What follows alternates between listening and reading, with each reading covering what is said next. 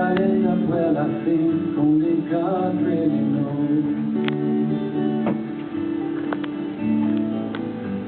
I've sat upon the setting sun, but never, never, never, never.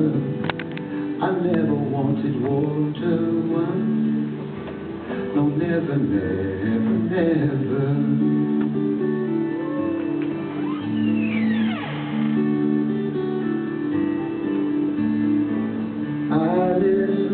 My words, but they fall far below.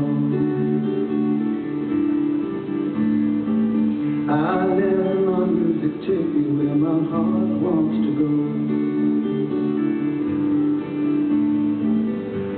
I swam upon the devil's lake, but never, never, never, never. I'll never make the same mistake.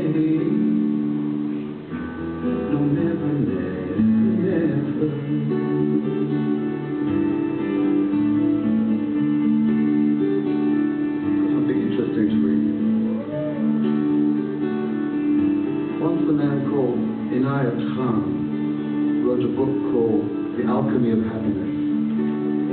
And in it he said, everybody has an appetite for happiness and for peace.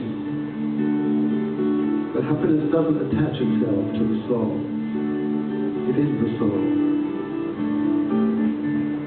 And many would take a journey to leave their problems behind and go and find peace.